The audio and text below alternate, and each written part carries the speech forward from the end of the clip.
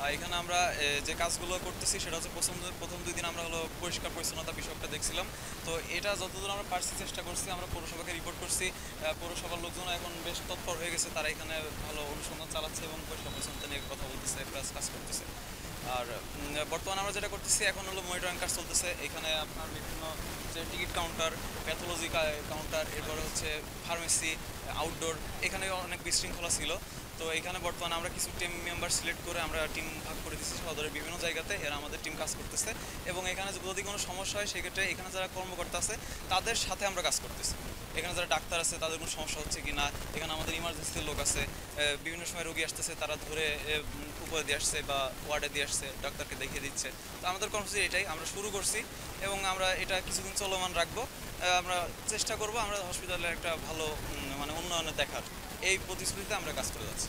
RFL wardrobe প্রিয় সব পোশাক যত্নে থাকবে আরএফএল ওয়ারড্রপে আমরা এখানে বেশি সমস্যা ছিল, প্রত্যেকটা ডক্টরের কাছেও শুনছি তাদের কি সমস্যা।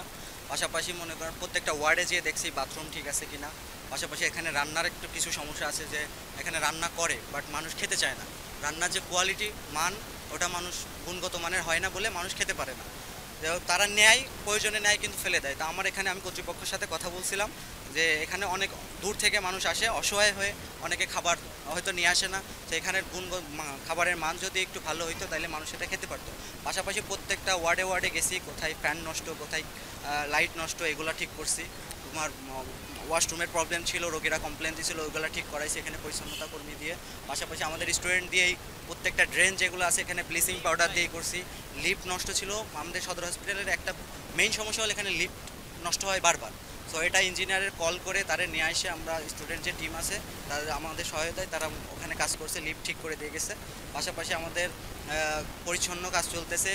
আমরা এই সদর হসপিটালের পাশাপাশি আমরা উপরে কাজ করছি, এখানে অনেক পেশেন্ট আসে যাদের খাবারের জন্য হোটেলগুলো আছে, উপরে এদের পরিবেশ অনেক সময় স্বাভাবিক থাকে না। তো আমরা প্রত্যেকটা হোটেলে হোটেলে গেছি, তাদের খাবারের যাতে ঢেকে রাখে, এভাবে তাদের বলা হয়েছে, তাদের রান্নাঘরে গেছি, তাদের পরিবেশ দেখার জন্য। তারা আমরা একদিন গেছি, পরের দিন যে আমরা দেখছি যে তারা কাজ করছে কিনা। তো আমরা দ্বিতীয় দিন দেখছি যে সবাই খাবার ঢেকে রাখছে, সবাই তাদের রান্নাঘর পরিষ্কার করে রাখছে। জি জি, আমরাও সবাই মানুষ পরিবর্তন চাচ্ছে আর সবাই আমাদেরকে উৎসাহ দিচ্ছে যে তোমরা কাজ করো, তোমরা কাজ করলে ইনশাল্লাহ আমাদের দেশ এক- একদিন ইউরোপের মতো হবে। আমার বাসা পাশে আমি হসপিটালে কোথায় কোন সিন্ডিকেট চলে, কোথায় কোন সমস্যা আছে এটা আমি খুব ভালো করে জানি এই জন্য আমার টিম নিয়ে এখানে গরিব মানুষ অসহায় হয়ে আসে আমি মনে করি একটা হসপিটালে এই জন্য আমি আমার টিম নিয়ে প্রধান সাত দিনের কর্মসূচি দিয়েছি এখানে।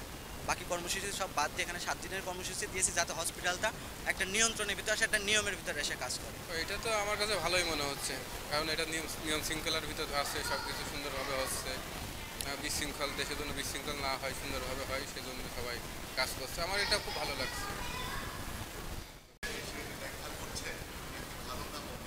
ভালো অনেক ভালো। ভালো কাজ করতেছে। আমিও সামাজিক কাজ করি ওরাও ভালো কাজ করতেছে। হ্যাঁ হবে। অবশ্যই হবে। এদের রোগীদের অবশ্যই উপকার হবে। ছেলেমেয়েরা যে হেল্প করছে, উপকার হবে।